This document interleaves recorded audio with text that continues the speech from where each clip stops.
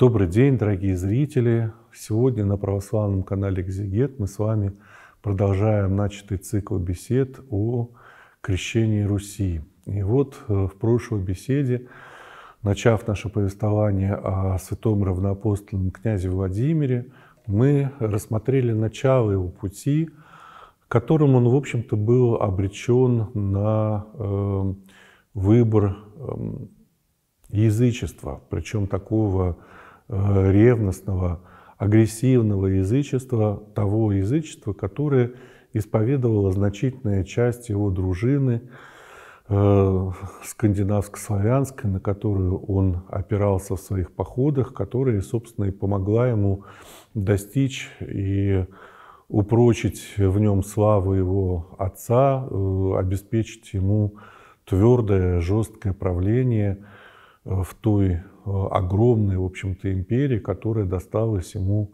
в наследство от великого князя Святослава Игоревича. Но при этом, как мы видим, попытка языческой реформы князя Владимира провалилась. Провалилась потому, что ну, не было уже никакого смысла пытаться сшить гнилую ткань. Э, само по себе язычество, которое пытался поддержать князь Владимир, который представлялась ему религией традиционной для большей части его народа, э, не было, совершенно не было чем-то таким единым. Оно было изначально разделено на две противоборствующие идеологии, на язычество агрессивное, язычество э, военной аристократии и на язычество большей части населения, Э, славянского и финно-угорского, которое занималось, как мы говорили, уже, ну, собственно, постепенной, многолетней, многовековой колонизацией доставшейся ему э, земли, постепенному облагораживанию, обрабатыванию, в общем, созиданию тех самых материальных благ, которые так ценились на вот этом пути из варяг греки, который, собственно, и создал основу могущества вот этого древнерусского государства, его экономического процветания. Вывел его, в общем-то, в первый ряд государств э, и Европы, и, надо сказать, и Азии тоже, которым э, некоторой своей частью, безусловно, это государство принадлежало, и к которому бы, который, к той части света, которой также было оно обращено. И вот князь Владимир э, Убедившись э, в том, что своей попыткой привнести в язычество такое организационное, государственное начало, э, может быть, не отдавая себе отчета в этом и не называя это, естественно, такими именами, э, он попытался привнести вот третий тип языческой, языческой идеологии в ту и так уже достаточно пеструю картину многообразия языческих культов э, привнести язычество такого классического государственного образца. Но именно вот эта попытка ставит его государство на грань религиозной гражданской войны. Войны, мятежа, которая очень сильно отрезвляет Владимира, э, человека, который еще в юности уже пережил опыт вот такой вот замятни, опыт этого русского бунта бессмысленного и беспощадного, как его впоследствии через много веков э, охарактеризовал наш великий русский писатель. И э, князь Владимир понимает, что нужно искать каких-то совершенно иных путей. То есть его перерождение из вот такого убежденного, ревностного язычника происходит не в силу, ну вот просто каких-то умозрительных спекуляций, из того, что он будучи человеком нерелигиозным по своей сути, вот просто, так сказать, калькулирует, делает расчеты э, и выбирает, какая религия ему лучшим самым образом подойдет. Э, нет, он отказывается от язычества э, по всей вероятности и по каким-то глубоким внутренним мотивам. Какого рода могли быть эти мотивы? Ну, вероятнее всего на него оказывает глубокое впечатление образ э, Федора и Иоанна, а возможно и других воинов, христиан, его дружины, которым он был после вот этого трагического события вынужден присмотреться более внимательно. И вот здесь он сделал те же выводы, которые на самом деле были сделаны не только им э, одним, но и другими правителями, да и просто очень многими людьми, э, которые оказались вовлечены вот э, в эти процессы эпохи викингов, в том числе духовные, религиозные, идеологические процессы. Князь Владимир столкнулся с той силой, которая уже привела к христианству до него многих представителей вот этого языческого типа воина, которому он принадлежал. Этот тип языческого воина, он имел свои определенные сильные стороны, но в то же время имел и очень серьезные недостатки. Дело в том, что э, воин-язычник – это такая очень необузданная стихия. Это человек, который открывает свое сердце очень сильным эмоциям, а сказать по-христиански страстям, гневу, ненависти, ярости. Более того, он фактически поклоняется этим страстям, э, обожествляет их, э, он сознательно принимает в себя тех духов злобы, которые эти страсти в человеке способны возбудить и усилить. Поэтому язычество, разбивая, развивая в себе вот эти темные дарования, э, приобретает достаточно такие, такую определенную изощренность в области боевой магии, в такого вот э, воинского искусства. Существуют такие его разновидности, действительно, как и провидение, дар провидения, даруемый языческими духами и богами, дар довольно часто встречающийся до сих пор у шаманов и наследников каких-то древних колдовских культов. Э, и как раз-таки, видимо, как раз тот дар, которым обладал князь Олег, прозванный за это вещим, это и э, способности к боевому оборотничеству.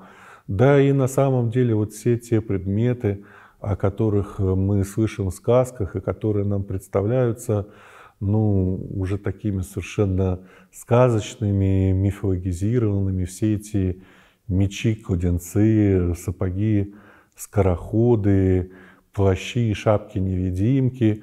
Эм, мы все это воспринимаем как сказки. На самом деле, в общем-то, если обратиться к языческим памятникам, мы видим, что прототипы всех этих э, магических предметов, за которыми стоит, э, стоит определенное такие, такое действительно искусство боевой магии, э, оно присутствует вот в этих культурах, присутствует и в скандинавской воинской культуре, и, безусловно, присутствует и здесь, э, на Руси.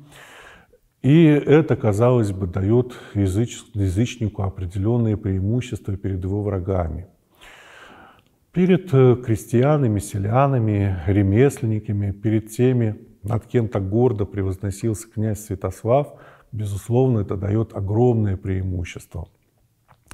Перед э, не особо, может быть, крепкими духом воинами тоже. Но э, в своих походах войска викингов и войска русов столкнулись с совершенно другим типом воина, совершенно иным типом воинской доблести, с, другим, с другой духовной культурой. Они столкнулись с образом христианского воина. И вот этот образ, он э, оказался в какой-то момент намного более выигрышным в их глазах эм, в сравнении с тем идеалом, который исповедовали они. Ну, во-первых, оказалось, что духовные силы воинов-христиан – зачастую ничуть не меньше, чем э, те, э, которые находят в своих душах воины-язычники. С другой стороны, оказалось, что и силы, которые стоят за христианскими воинами, их э, небесные, божественные покровители, не слабее, чем Один, Тор или какие-то другие воинственные божества, или Перун, э, Перкунас, которым поклонялись э, те, кто входил в состав э, дружин викингов, будь то, так сказать, скандинавские дружины или дружины русские, включавшие в себя славян, балтов, финно-угров, скандинавов и тюрок. Оказывается, что те чудеса, которые происходят благодаря молитвам, благодаря тем силам, которые покровительствуют э, воинам-христианам, способны сломить, способны победить и сделать ничтожными все те духовные преимущества, все те духовные силы, на которые так уповал, так надеялся воин-викинг, отправляясь в поход под защитой и покровительством своих богов. Но самое главное было то, что э, воин-христианин обладал э, многовековой этикой, культурой, философией, идеологией ведения военных действий. Воин-христианин строил свою э, воинскую идеологию на основании христианской религии. Основным э, моментом, да, вот, которое было положено в качестве вот, э, такого фундамента для этого мировоззрения, была заповедь Спасителя, была, остается заповедь Христа Спасителя о том, что нет больше той любви, э, чем положить душу за други своя. В служении воинов христиана, христиан выразилась христианская жертвенность, которая придавала им Э, действительно глубокие, мощные духовные силы, но при этом не э, уничтожала душу. Потому что мало отправиться в поход. Важно еще с этого похода вернуться. Очень просто сложить в нем голову, приобрести славу. Но самое сложное для воина начинается тогда, когда он возвращается после похода в свои родные края. И вот становится совершенно очевидно, что человек, который открыл свою душу вот этим страстям, которые, казалось, так помогают ему во время ведения боевых действий, вся вот эта неукротимая злоба, ярость, гнев, ненависть, которые окрыляют его и ведут его в бой, удестеряя его силы, оказываются уже настолько присущими его душе, что он просто не может вернуться с войны. Он так навсегда на этой войне и остался. Он не может вернуться к мирной жизни. Постоянно в мирной жизни проявляются вот эти разрушительные по своей сути начала, которые стали сутью его души, его мировоззрения и всей его жизни. И вот это э, являлось той сложностью, с, которым, с которой столкнулась вообще, вот, так сказать, эпоха викингов в целом и Э, Русь в частности. Мы видим проявление этого разрушительного начала и в самом князе Владимире. Так сказать, не случайно мы все-таки э, привели в пример то э, совершенно жестокое деяние, которое было совершено им по отношению к Полоцкому княжескому дому, по отношению к Рогволоду, к его дочери Рогнеде.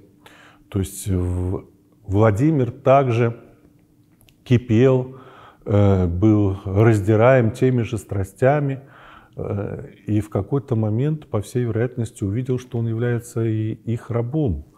Сумел различить и разглядеть вот то разрушительное начало, которое они в себе несли, и сравнить его с той духовной твердостью, с той крепостью, и в то же время с той неповрежденностью души, которую демонстрировали воины-христиане и из его дружины, и, вероятно, в каких-то походах, в которых он и также имел возможность с ними столкнуться, каким-то образом э, встретиться. Это то, что на самом деле очень сильно привлекало э, в христианстве, в особенности в византийском христианстве, тех, кто Э, приходил на службу или тех, кто приходил воевать с Византией. И те, и другие сталкивались с вот этим совершенно другим, противоположным по своим началам образом христианского воина и убеждались в его силе, убеждались в его превосходстве, а главное в том, что за этими воинами стояла та духовная традиция, та подлинная христианская философия, которая позволяла им в любых обстоятельствах, и будь то или война, или мир, но всегда оставаться людьми.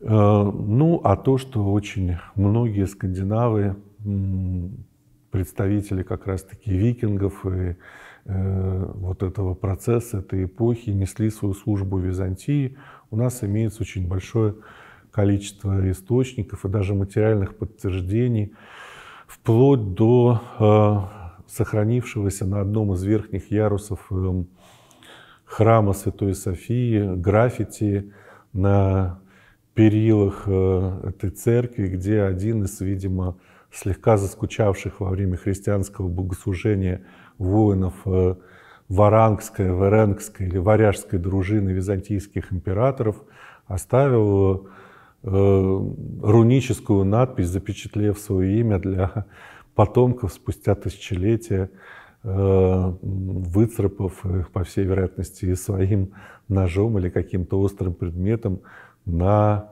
э, каменной балюстраде одного из верхних ярусов храма Святой Софии. Раньше, когда Святая София была музеем, вполне можно было подняться и самому лицезреть, так сказать, эту руническую надпись. Сейчас, поскольку там мечеть такая, такой возможности уже у посетителей нету, но, что называется, поверьте на слово. А, то есть князь Владимир а, приходит к внутренней глубокой переоценке а, того, что он считает важным для себя в своей жизни. Его религиозный поиск является вполне искренним. У нас нет никаких оснований подозревать его в каком-то таком корыстном расчете, да, не было у него таких соображений. Более того, сам характер эпохи, он действительно ставил вопрос ребром. Либо ты движешься в русле языческой традиции, но при этом пускаешь свою душу в это разрушительное начало, и теряешь ее, либо ты принимаешь христианство и принимаешь совершенно другой внутренний тип э, духовный тип воина, уже воина-христианина. Сравнение, столкновение двух этих типов однозначно приводит князя Владимира к тому, что он останавливает свой выбор на христианстве. Однако князь Владимир был человеком ищущим. Более того, как правитель, он должен был учесть э, ну, религиозные предпочтения всей своей, всего своего многонационального государства – разных населявших его этнических групп. Поэтому, по всей вероятности, происходит вот этот период, этот процесс богоискательства, во время которого князь Владимир принимает посольство с предложениями о принятии различных вер. Конечно, в летописном варианте это повествование, может быть, выглядит как какая-то такая легенда, в несколько, может быть, таком упрощенном виде, но тем не менее, безусловно, э, очень такое глубокое и подлинное начало в, в этом повествовании, безусловно, содержится. Итак, князь Владимир принимает различные посольства. Он принимает посольства от э, западных христиан, западные миссии. Ну, они, собственно, не являлись чем-то таким уж совершенно уникальным, необычным. Э, латинский обряд находился здесь, у самых границ э, Руси. К этому обряду относились и англосаксонские государства, с которыми благодаря родственным связям с э, скандинавскими дворами у киевского престола также были определенные взаимоотношения. Достаточно привести в качестве примера ну, хотя бы тот факт, что в свое время внук князя Владимира, вернее его правнук и тезка Владимир Мономах, Владимир Всеволодович в качестве жены берет за себя принцессу как раз из англосаксонского дома, дочь последнего англосаксонского короля Британии э, Гарольда Годвинсона, Гиту Гарольдовну, которая является матерью его детей и связывает э, династическими узами э, два этих правящих дома, что свидетельствует, безусловно, о том, что, в принципе, эти связи существовали и ранее. Что уже говорить о Скандинавии, которая тоже под влиянием и ирландских миссионеров, и, э, в общем-то, э, также англосаксонских государств тоже, в общем-то, во многом склоняется к принятию христианства именно западного образца, несмотря на то, что в какой-то момент столь яростно как раз-таки с, ним, с ними боролась. И, кстати говоря, то, что э, на Русь христианство – пришло э, во многом именно через Скандинавию, свидетельствует э, и даже наш собственный с вами язык. Ведь основные, основополагающие церковные термины совершенно очевидно имеют у нас не восточное, а западное происхождение.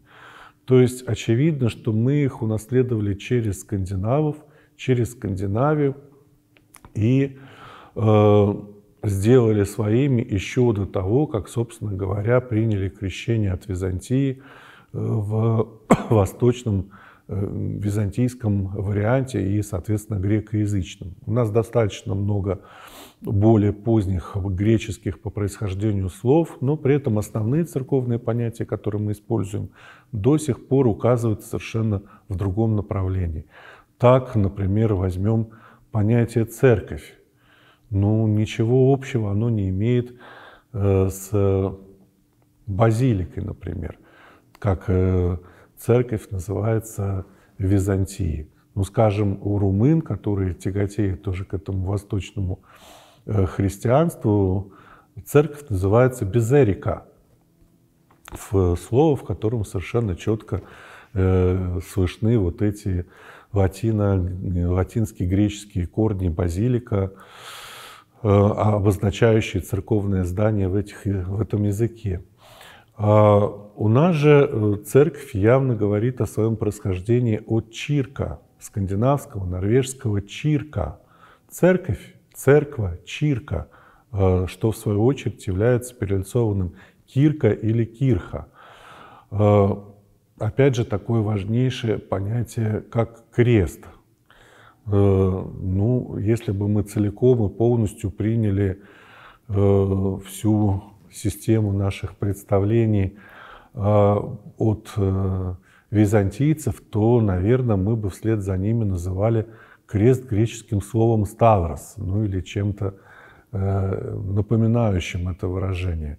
Но мы пользуемся словом, которое весьма близко к Э, тому германо-романскому выражению «кросс», да, э, «кройц», которое было в э, ходу у, в первую очередь, тех, кто принимал крещение западного образца у скандинавов. То есть это одно из выражений, которое также ясно говорит о таком скандинавском субстрате и о том, что первыми христианами наряду со славянами у нас были точно так же и э, скандинавы, бывшие викинги, которые приняли христианство и приняли его на свойственном для себя языке, в свойственной для себя системе понятий. Есть целый ряд других примеров, которые говорят о том, что наша церковная жизнь ее основы, ее терминология была заложена еще до того, как князь Владимир принимает крещение от Византии, и заложена была она никем иным, как именно э, выходцами из скандинавских стран, при, принесшими нам вот это вот такое западное влияние. Поэтому связи с э, западными церквями, безусловно, существовали и существовали довольно тесные и близкие, общение это, безусловно, было. Но тем не менее князь Владимир не принимает посольства из западных стран, которые предлагают ему принять христианство вот в форме этой римской идеологии. Он говорит, отцы наши не приняли вашего учения, а потому и вы возвращайтесь в свою землю. Что за отцы, которые не приняли э, этого учения? Святослав, ну, никто ему особенно этого и не предлагал. Княгиню Ольгу, которая отказалась от миссии от Дальберта, сложно причислить к отцам. Вероятно, князь Владимир под отцами имеет в виду все-таки своих язычников, которые начали вот это вот движение, начали свой вот этот вот поход, вот, э, положили начало этим процессам эпохи викингов именно в ответ на агрессивную экспансию западной формы христианства, западной идеологии христианства, которая, в общем-то, проявляла столь много отличий от э, того, что князь Владимир увидел в восточном, византийском Э, православном варианте христианства, что, в общем-то, безусловно, помогло ему разобраться и отвергнуть предложение о принятии западного обряда, который бы соединило его с другими единомысленными королевствами Западной Европы. Подобным же образом князь Владимир рассматривает и предложение принять ислам, мусульманство. Сейчас нам это кажется ну, несколько таким смешным, ну, где мы, а где ислам? В общем-то, ислам — это какая-то там Средняя Азия, Закавказье. Представляется нам, с какой стати князю Владимиру вообще задумываться о том, чтобы принять ислам? С какой стати вообще подобного рода посольство могло иметь место? На самом деле все совершенно не так. В зону интересов э, э, древнерусского государства в качестве и вассала и такого торгового партнера входила Волжская Булгария, Булгария, мощное мусульманское государство, которое существовало с, по меньшей мере, 8 века на территории Э, той же территории, на которой это государство соприкоснулось с Русью и с которыми постоянно вела определенные торговые дела. Э, тюрки, булгары, принявшие ислам, сумели э, определенным образом распространить это свое влияние и на окрестное славянское население. По крайней мере, вот из уже упоминавшегося путешествия Ибн Фадлана нам известно, что этот э, арабский миссионер в начале X века отправился на Русь, отправился, вернее, в Поволжье для того, чтобы передать благословение и основы исламской веры, э, благословение халифата, к которому он относился, э, одному из славянских князей, который решил принять ислам. По всей вероятности, это был не единственный славянский князь, и в какой-то период, в какой-то момент э, вот э, Волжская Булгария и сопредельные государства также способствовали тому, что среди славян появилось немало тех, кто готов был присоединиться к вере пророка, принять и поднять его зеленое знамя и опереться на те, в общем-то, тоже немалые силы, которые э, стояли за арабами, тем более, что арабы постоянно стояли у ворот э, в этот мир, они постоянно как бы стучались в него. Э, их на этих рубежах постоянно сдерживал хазарский каганат в интересах и собственных, и в интересах Византии, не позволяя сколько-нибудь сильным таким объединением арабов вторгнуться на вот такие вот более, что ли, э, западные территории, на которые они рвались и с этой стороны. И вот теперь историческая миссия Хазарии ложится на князя Владимира. Может быть, это, может быть, другие какие-то определенные э, размышления – Э, но все это отталкивает князя Владимира и от тех миссий, которые, по крайней мере, по уверениям ряда арабоязычных источников направлялись на Русь с тем, чтобы крестить князя Владимира и его государство. Некоторые из них даже рапортовали об о своем успехе, который они достигли в этом деле исламского миссионерства, но, по всей вероятности, их э, э, бодрые рапорты оказывались преждевременными, поскольку князь Владимир выдвинул одно, но совершенно несокрушимое условие, которое не позволяло ему принять ислам.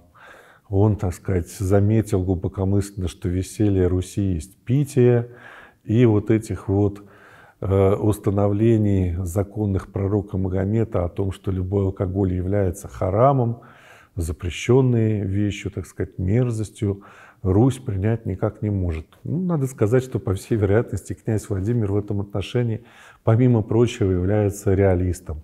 Он понимает, что попытка принятия ислама здесь, вот в этой э, славянской, византийской культурной среде, обернется ничем иным, как лицемерием.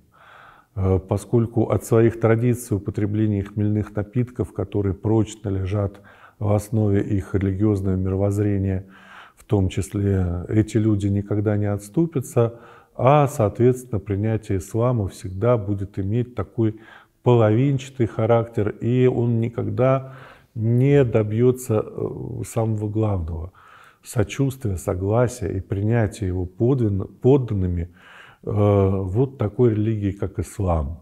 Может быть, э, для кого-то вот это, так сказать, это аргумент князя Владимира, которому вполне, с одной стороны, так сказать, понравились э, описания райского сада с многочисленными гуриями и возможности сохранить гаремы, может быть, и показалось чем-то заманчивым, но вот это отчасти кажущееся курьезным возражение по поводу пристрастия Руси к алкоголю, на самом деле э, рисует его как человека действительно практичного, помимо всего прочего, и мудрого, рассудительного, трезво оценивающего, что этот его выбор как правителя не будет поддержан, не будет разделен ни в коей мере его подданными, которые никогда искренне и э, нелицемерно не примут ислам, не сделают его своей религией. Слишком далеки друг от друга их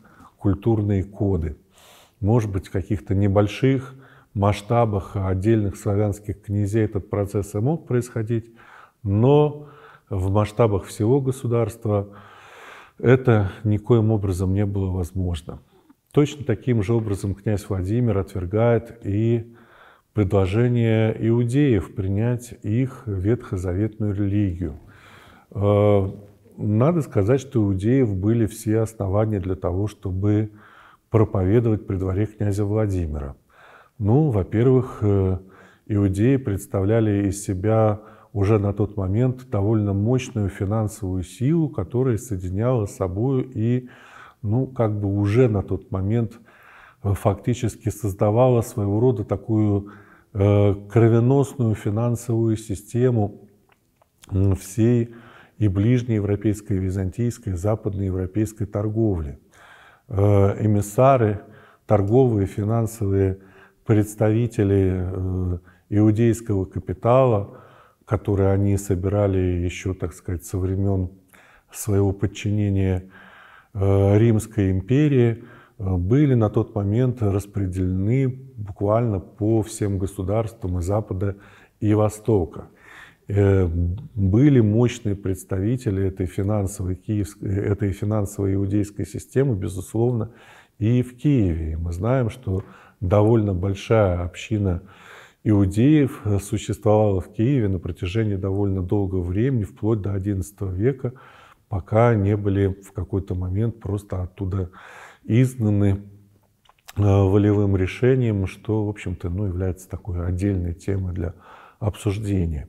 Но на тот момент, ко времени княжения князя Владимира, опора на иудейство представлялась, э, в общем-то, достаточно важной и предложением достойным рассмотрения, не только благодаря тем э, финансовым возможностям, которые она предлагала, но и благодаря примеру э, хазарского каганата, аристократия которого как раз-таки принимает в свое время иудейское предложение, э, принимает иудаизм, отвергая миссионерские усилия святых Мефодия и Кирилла, которые направляются в какой-то момент в Э, Хазарию со своей миссией принесения туда православного христианства и лишь, так сказать, по случаю, казалось бы, просто проведя какое-то вынужденное время в Крыму, э, полагают там начало своего, э, своей миссионерской деятельности среди славян через создание новой формы азбуки для них и перевода богослужебных книг. Так э, вот, э, иудеи, предлагая э, принять свою веру князю Владимиру, опираются на пример хазанского, хазарского каганата. А надо сказать, что это мощное государство было, в общем, достаточно таким внушительным и таким действительно культуртрегерским началом не только для региона Руси. Это было действительно государство, в общем-то, в каком-то смысле номер один, но даже для Византии. Мы знаем, что в Византии существуют династические браки э, между византийскими императорами и представителями хазарского э, каганата.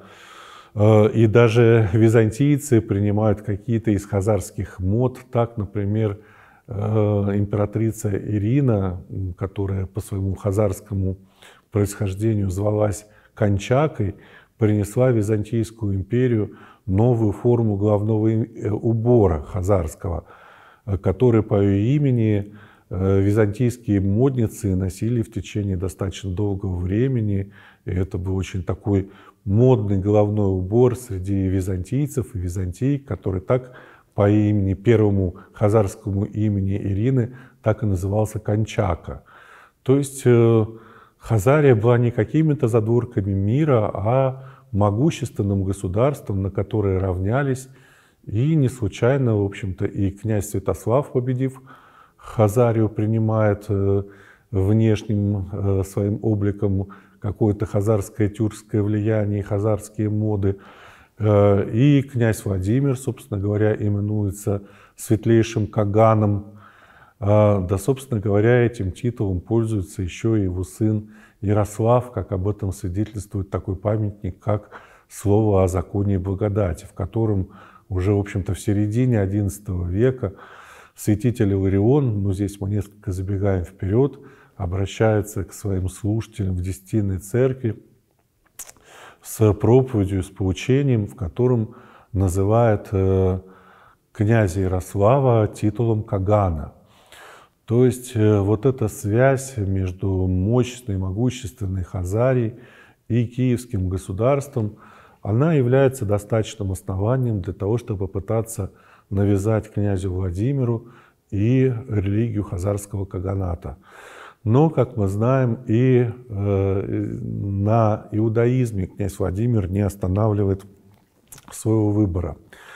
И здесь обнаруживается то, что князь Владимир на самом деле подходит к этому делу очень глубоко. У нас нет э, непосредственных известий о том, чтобы он был грамотен, но, по всей вероятности, э, это именно так и было. По всей видимости, князь Владимир не просто ищет веру, он еще и занимается чтением, изучением, он глубоко вникает в саму суть религиозных систем, которые его окружают, которые попадают в поле его зрения. И вот иудейским послам, согласно легенде, князь Владимир указывает на слабое место их проповеди. Он говорит, так а где же ваша земля, из которой вы пришли? Что могут на это ответить ему иудеи? Сказать, что их земля Палестина давно завоевана римлянами, находится в составе Византийской империи, а в настоящее время подчинена мусульманами. э, сослаться на хазарский каганат, но и он разгромлен отцом Владимира Святославом.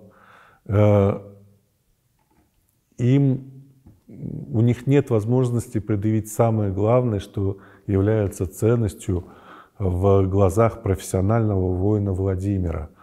Э, у них нет никаких военных побед. Более того, они везде терпят поражение.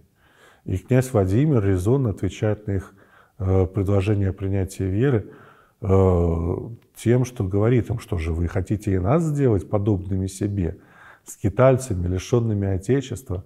Ну, действительно, предложение иудеев э, находится в глубоком противоречии с тем, что преследует князь Владимир. Князь Владимир стремится укрепить свое государство, дать ему новые религиозные идеологические основы. Не просто принять православие сам. Он понимает, что один, он э, мало что значит. Что если принимать новую веру, принимать новую религию, то нужно сделать это так, чтобы ее приняли и его подданные, по крайней мере, большая их часть, та часть, на которую он может опереться – и в этом отношении, конечно, иудеи представляют собой совершенно противоположный пример выживания в чужих государствах без опыта, на тот момент уже тысячелетнего опыта создания сколько-нибудь прочного своего.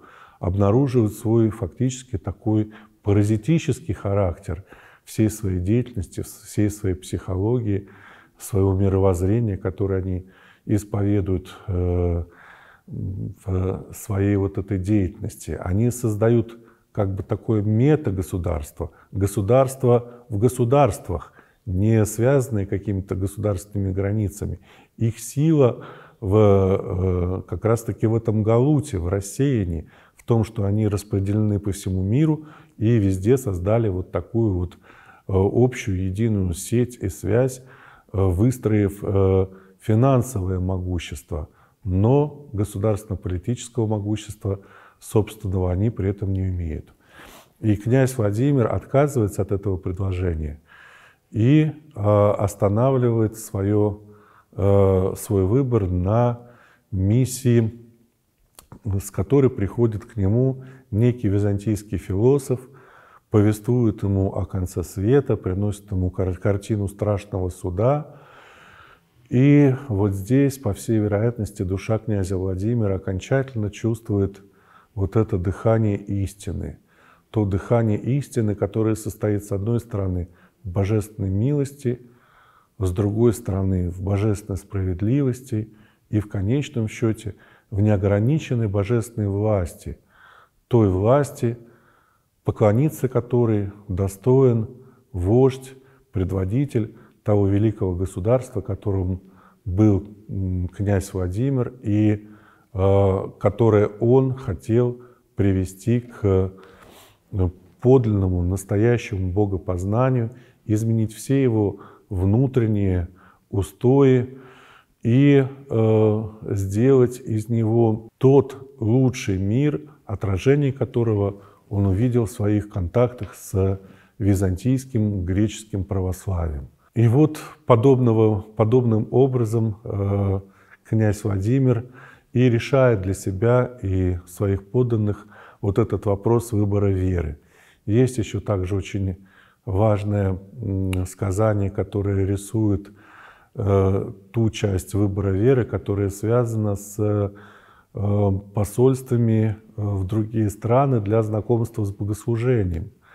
Ну и не богослужение мусульман не оказывает никакого впечатления на посланников, ни богослужение западной церкви тоже не оставляет них сколько-нибудь такого мощного впечатления. Ну, действительно, по сравнению с теми церковно-эстетическими традициями, которые демонстрировала Византийская империя, скромные достижения в этой области западных э, королевств, в общем-то, конечно, не шли ни в какое сравнение э, и э, даже, так сказать, исполнение григорианского хорала никоим образом не могло э, соревноваться с тем расцветом византийского певческого искусства, которое как раз на тот момент совершалось в Византии и которое действительно могло позволить тем, кто участвовал в этом богослужении, кто присутствовал за ним, ощутить себя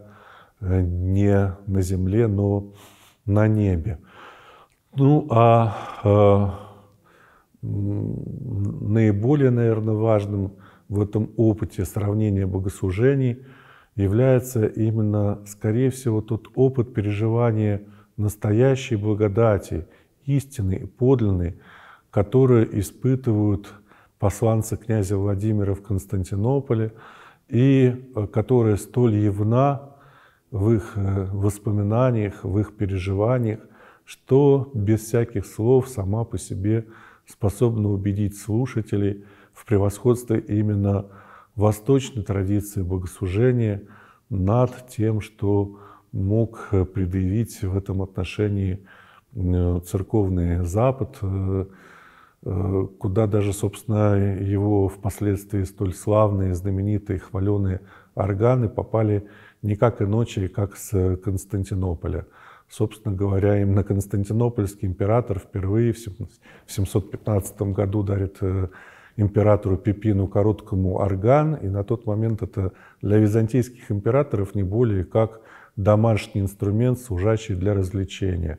Ну, за недостатком певческой культуры в западных э, государствах.